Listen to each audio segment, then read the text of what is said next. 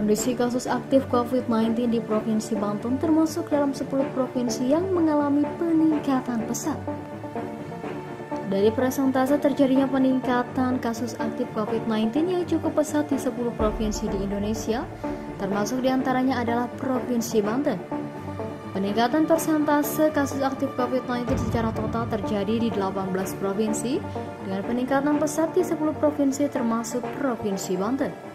Kementerian Koordinator Bidang Perekonomian dalam keterangan resminya yang dikutip kabar Banten.com dari ekon.go.id terjadi peningkatan persentase kasus aktif di total 18 provinsi dan 10 di antaranya yang meningkat pesat akhir-akhir ini. Ke-10 provinsi tersebut adalah Provinsi DKI Jakarta, Jawa Barat, Jawa Tengah, Jawa Timur, Sumatera Utara, Nanggro Aceh Darussalam, Daerah Istimewa Yogyakarta, Banten, Sumatera Barat, dan Sulawesi Selatan. Adapun provinsi dengan persentase kasus aktif terbesar per 13 Juni 2021 adalah Papua dengan total 42,9 persen, Aceh 21,2 persen, NTB 19,8 persen, Kepulauan Riau sebesar 16,8 persen dan Jambi 16,4 persen. Selain itu terjadi tren pertambahan kasus terkonfirmasi yang baru pasca libur Idul Fitri per 14 Juni 2021. Tercatat tingkat kasus aktif sebesar 6,0% atau masih lebih baik daripada global yang sebesar 6,9%.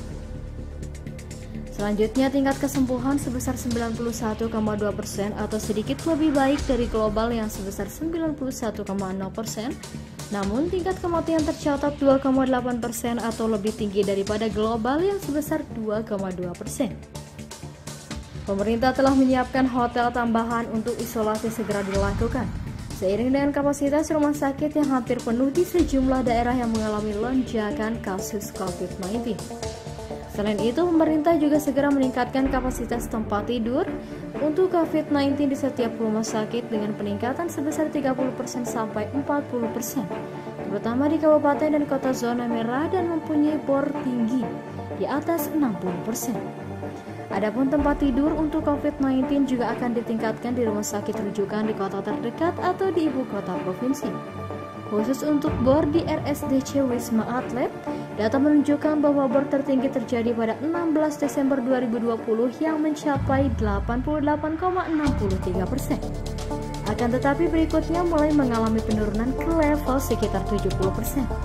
Bahkan sepanjang minggu ketiga Mei 2021, yakni pada 14 sampai 21 Mei 2021, bor RSDC Wisma Atlet berada di bawah 20 persen.